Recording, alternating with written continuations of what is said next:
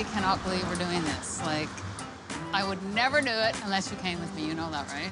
You got to be open to everything. Nice to meet you.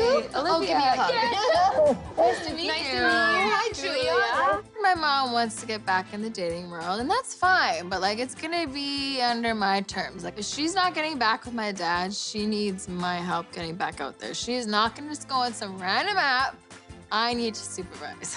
Is this your sort of first time getting back into the dating scene? We've never done Our first this. time.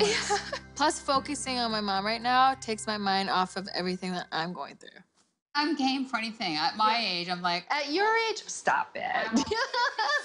cut to the chase. Cut to the chase. Let's go. I love it. The whole cougar thing. You have a lot of that where women like younger men.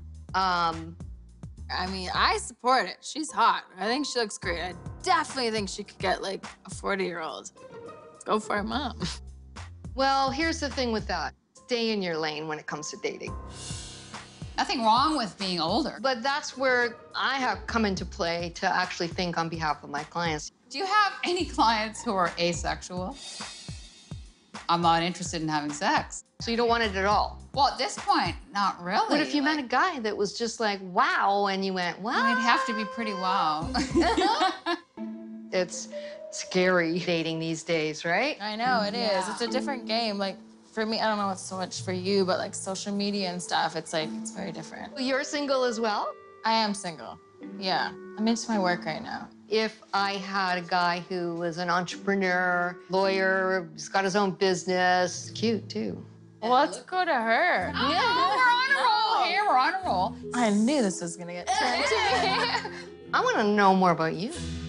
So have you been married before? no, I have not even been close to marriage. You're 29. Yeah.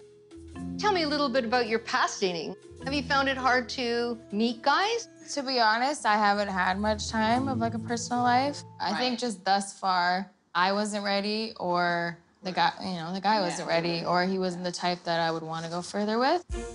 Well, you're pretty focused on work I'm right very work. now. I mean, you're a pretty Very. popular girl. Yeah. probably for you, guys probably want to date you for the wrong reasons. um, I feel like my guy, he's gonna know what I'm about, and if you're signing on for me, you're signing on for my life. So, I've learned a lot with Natalie and her relationship with Ajaman. It's gonna be another six months before I see you again. No. It's really important for me as well that my career goes well, but I do want to make a space to have that amazing relationship. As women, we can have it all. So, do you want to have a baby someday? Oh, yeah. Oh, yeah. She'll be a great mom. She's just a natural. Timing is everything, right? I'm not like worried about it because I think I'm still young enough. But you got to take that first step, right? You got to get out there and you've got to do something. I'm really enjoying like my independence and like having my own thing and not relying on a man for everything. What about somebody who's established in their career because they've been focused on that? I don't know.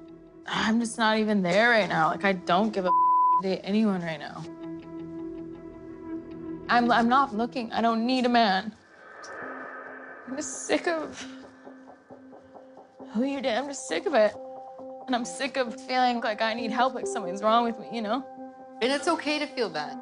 It's okay. I brought my mom here to take my mind off of my age and where I am with my personal life. We are here for mom. I want nothing to do with this. It just sounds like you're out of practice. Yeah. Both yeah. of you. Yeah, yeah. What do you think? I have a drink. Oh, sure.